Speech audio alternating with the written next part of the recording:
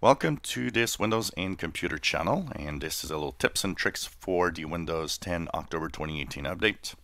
One of the things that you might find annoying and um, I don't really like that feature either is sometimes you'll see that in the start menu you will have in the app list a suggestion of an app that you might want to download or try. You know that's not very far from being an ad honestly and uh, I kind of get it that you want to Microsoft wants to have people go to the Microsoft store to download apps, but at the same time, for a lot of people, it's more annoyance than anything else. So all you have to do is simply go to your settings, either by the uh, Action Center or you can go to the Start menu and click the settings. Then go into personalization.